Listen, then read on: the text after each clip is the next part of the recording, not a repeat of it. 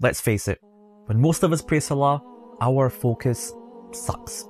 So here's what I want you to do before your next prayer. The few seconds, that moment before you say Allahu Akbar and begin your prayer are so crucial and I literally can make or break how well or how badly you perform that prayer.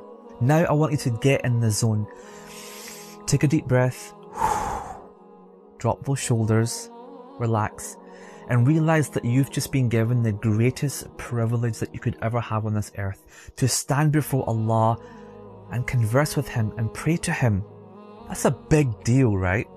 Now, once you're relaxed and in the zone, I want you to imagine that as you say Allahu Akbar and do this movement, that you're pushing all of your life stresses and worries behind you, and now it's just you and Allah subhanahu wa ta'ala. Allahu Akbar.